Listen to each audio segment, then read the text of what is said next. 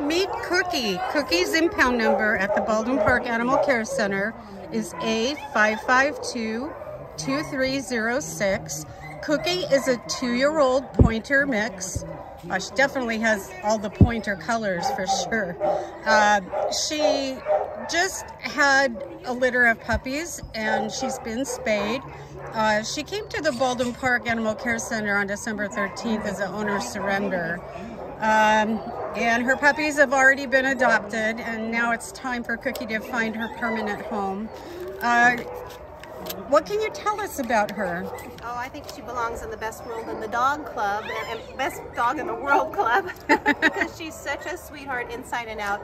She does have a little bit of shyness. Um, like when I touched her back without her realizing I was going to do it, she immediately laid down. Um, but no aggression whatsoever. Very sweet, very friendly. Um, a little leery of dogs, but I think it's because it's so noisy. But I have a feeling she's probably very good with dogs once she warms up to them.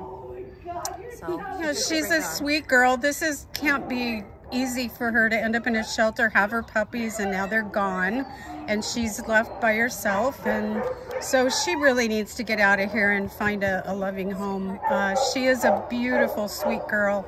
Again, uh, if you're interested in Cookie, her impound number is A552 2306. Hi, Cookie. Okay.